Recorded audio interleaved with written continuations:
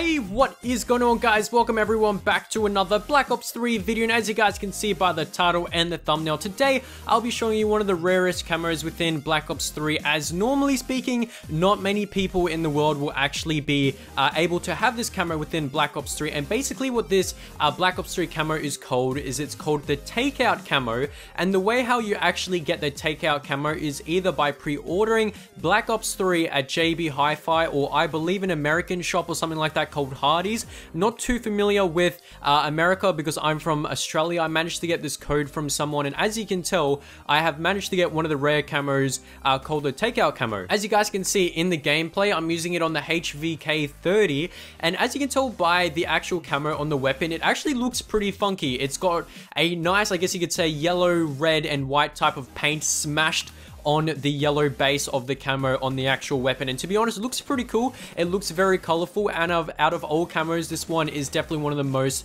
uh, ones that are definitely on the colorful side just because of the vibrant colors it does bring out. And on snipers and stuff, it does actually look pretty decent as well, but I mostly prefer it uh, on the HVK as you can see most of it as well. If you put a red dot sight or anything like that, it does look pretty cool. But let me know your guys' thoughts in the comment section down below. Do you actually like the look of the camo? Do you think it's cool or not? I want to know what you guys think. I personally wouldn't say it is the best looking camo, uh, but for it to be a rare camo, you know, it's not actually something uh, that you would probably say is a rare camo, but it's more of something, I guess you could say, to have bragging rights, saying that, you know, I got this camo, you guys can never have it type of thing. And to be honest, it is one pretty cool looking camo, and really the only way to get it as of now, I'm not too sure, but you could probably find a code or something, maybe on eBay, or you could probably get a code from a friend uh, that hasn't used the code when they pre-ordered it from JB Hi-Fi uh, or Hardee's in America. JB Hi-Fi is just basically like an EB Games or whatever uh, from uh, America to Australia. It's basically just a game shop, more or less, and they do other stuff as well. But they managed to have this camo pre-ordered. For Australians and Americans.